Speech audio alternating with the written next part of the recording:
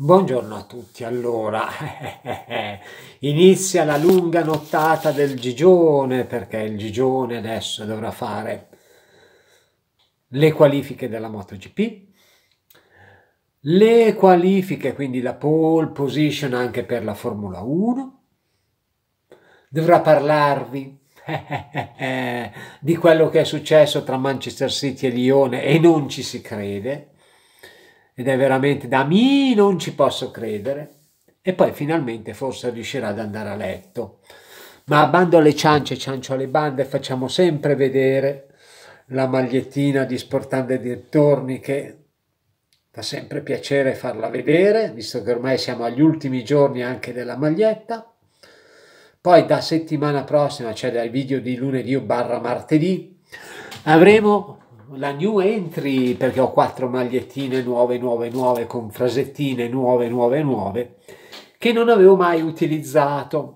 Comunque, bando alle ciance, ciancio alle bande, andiamo a vedere quello che è successo in MotoGP, Gran Premio d'Austria e il Q1 al quale, ahimè, partecipa anche Valentino Rossi perché nelle, nelle prove libere non ha fatto il, il tempo dei migliori.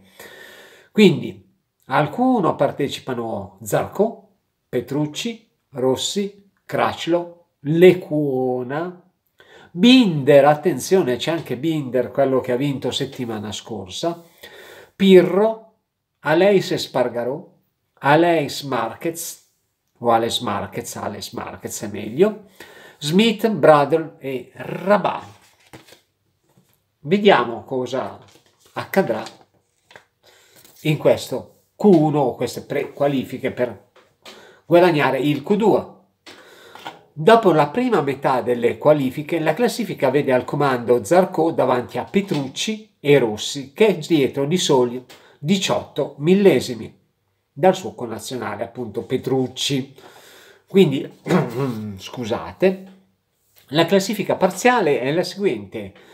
Primo Zarco, secondo Petrucci, terzo Rossi, quarto Ale, Alex Marquez, quinto Cracelo, sesto Binder, settimo Lecuona, ottavo Aleix Spargarò, nono Smith, decimo Bradle, undicesimo Rababba, dodicesimo Pirro. Io mi stoppo un attimo e poi proseguiamo. Bene, bene, bene, bene, proseguiamo, proseguiamo perché nella seconda parte del Q1, della prequalifica, chiamatela come volete, c'è un incredibile Valentino Rossi che con l'ultimo giro riesce a stare davanti a Petrucci per soli due centesimini, guadagnandosi appunto il Q2, ma c'è un fatto brutto, brutto, brutto nel giro precedente, perché praticamente c'era Petrucci dietro a Rossi, si è, infilato a lei, si Spargarò in mezzo, si è messo, come si suol dire, in mezzo ai testi. E praticamente cosa è successo? Petrucci ha saltato, superato Rossi, però c'era sempre in mezzo a, alle scatole. Pole, Alessia Spargarò. E quindi praticamente lui ha sorpassato Alessia Spargarò, eh, però si è reso conto che gli ha fatto perdere un botto di tempo, quindi si è girato, gli ha fatto il gestaccio così Alessia Spargarò si è reso conto di aver fatto una puttanata, perdonatemi il termine, ha alzato il braccino, gli ha fatto ciao ciao e si è scusato. Però eh, era in, nel giro lanciato, magari Petrucci in quel giro poteva fare un ottimo giro e portarsi davanti a Rossi che invece l'ha beffato nel giro successivo. Quindi adesso andiamo a vedere quali sono i magnifici 12 che si giocheranno la pole position, tenendo conto che Zarco era già primo, c'era solo Petrucci e Rossi che si sfidavano vicendevolmente per cercare di passare al Q2. Comunque ecco i magnifici 12 che si giocheranno la pole position. Pole Espargarò, Dovizioso, Vignales, Miller, Nakagami, Rins, Olivera, Mir, Morbidelli, Quartararo, e appunto Zarco e Rossi che arrivano dal Q1. Dopo il primo step, la pole provvisoria è di Vignales davanti a Quartararo e Miller, ma sono tutti piuttosto vicini vicini, come diceva qualcuno, Quindi attenzione perché la seconda parte potrebbe regalare qualche sorpresina. Una Q2 veramente pazzesca, ma alla fine, zitto zitto, cacchio cacchio, è Vignales ancora una volta a tenersi la pole position davanti a Jack Miller, visto la sorpresa Jack Miller, e a Fabio Quartararo, purtroppo solo dodicesimo Valentino Rossi.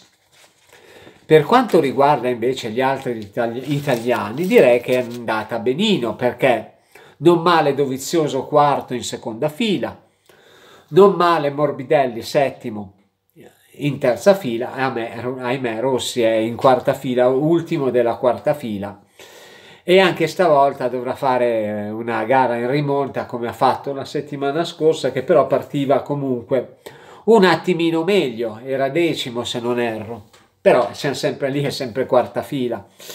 Quindi dovrà pronti via, cercare di recuperare subito posizione nei primi giri, cercare di portarsi sotto, poi la gomma si deteriora eccetera, eccetera, eccetera. Comunque, questa è la griglia di partenza del Gran Premio d'Austria di MotoGP. Prima fila Vignales Miller Quartararo e ci sarà già da divertirsi tra Vignales e Quartararo e magari Miller, anche lì zitto zitto, cacchio cacchio, tra i due litiganti il Miller gode magari nei primi giri, poi è logico che Vignales e Quartararo faranno valere la loro Yamaha. Yamaha. Attenzione però perché in seconda fila abbiamo un dovizioso bello arrembante, a fianco a un Pole Spargarò e un Mir che i testi a tutti e tre davanti li possono rompere facilmente. Quindi abbiamo Morbidelli, Rins e Zarco in terza fila, Nakagami, Olivera, Rossi in quarta, Petrucci, Alessia Spargarò e Craclo in quinta, Lecuona, Binder che stavolta un attimino lasciato a desiderare solo diciassettesimo e Alex Marquez in sesta fila Brandon Smith e Rabat in settima e zitto zitto poverino ultimissimo dietro a tutti il povero Pirro. Detto questo vedremo oggi pomeriggio cosa succederà perché la gara è interessante. Come dico sempre quando il gatto non c'è, il gattone Mar Marquez non c'è, i topolini se ne possono approfittare e divertirsi. Quindi può darsi che magari sia una bella gara combattuta, sperando che come al solito non ci sia uno che prende parte e dice ciao, io me ne vado e vi lascio combattere a voi, io per il primo posto me lo prendo, me lo tengo e vi saluto. Detto questo vi saluto anch'io e ci vediamo ai prossimi video. Ciao!